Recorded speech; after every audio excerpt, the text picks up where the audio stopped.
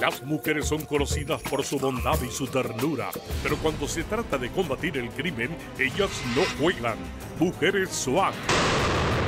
Conózcalas en una serie de reportajes del periodista Pablo Luis Santana a partir de este miércoles 15 de mayo en las dos emisiones de Noticias Telemicro.